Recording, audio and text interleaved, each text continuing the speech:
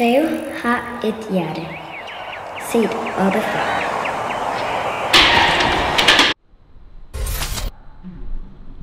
Jeg hedder Maria, og jeg er 14 år. Jeg bor i Greve. Jeg går nogle gange igennem sådan under den tunnel over til Waves, sådan, som jeg altid går under ved, sådan, hvor der er nogle ting, hvor man kan trykke på nogle knapper. Jeg har været der masser af gange, fordi mine venner bor der også og alt det. Jeg føler, at det er blevet meget pænere, og det ikke så ud som gammeldags ud. Farver, det betyder, altså når jeg ser sådan der rigtig lyse farver, så synes jeg, at det ser sådan der glad ud, og når det er bare mørke, så synes jeg, at det ser sådan trist ud. Sådan. Så farver, det betyder meget for mig.